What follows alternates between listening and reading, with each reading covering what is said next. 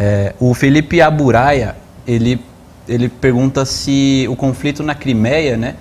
O, a Rússia, logo depois do golpe de 2014 na Ucrânia, a Rússia percebeu que era um perigo muito grande e acabou colocando tropas na Crimeia, né?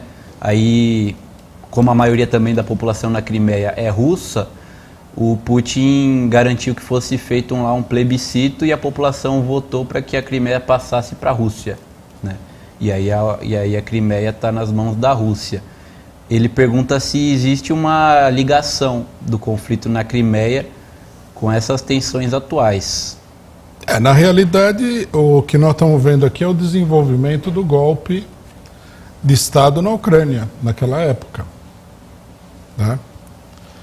É, é, bom lembrar que o, esse golpe na Ucrânia, que teve, tem essa consequência extremamente nefasta, ele foi apoiado por quase toda a esquerda brasileira.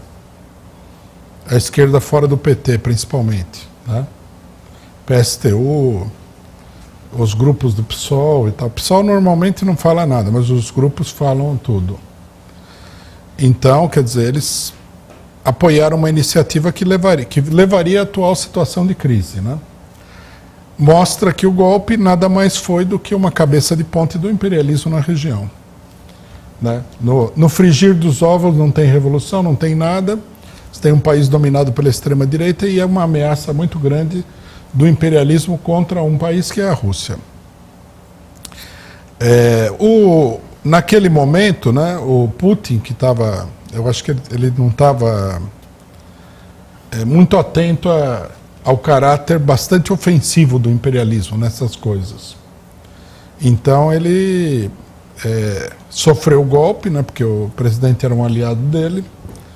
Aí ele respondeu de maneira bastante enérgica assegurando aí a Crimeia, porque a Crimeia um, é um dos portos é, mais importantes do ponto de vista militar para a Rússia. Esse negócio da Crimeia, do, do, do, do leste da Ucrânia e tudo mais, essa, esse negócio da defesa da soberania nacional, no que diz respeito a esses países, é um tanto quanto artificial, né?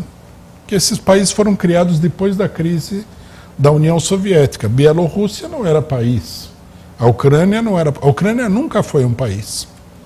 É um país que passou a existir depois da, da crise da, da União Soviética.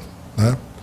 É, fica, num certo sentido, fica em suspenso a questão de se é, seria realmente, se fosse o caso, né, não é o caso aqui, é, do ponto de vista do, do direito, se fosse correto reconhecer a Ucrânia como um país independente. Há muitos países no mundo que são muito artificiais. Foram criados pelo imperialismo para dificultar a vida dos outros. Tá? No Oriente Médio, por exemplo, quase todos os países são artificiais.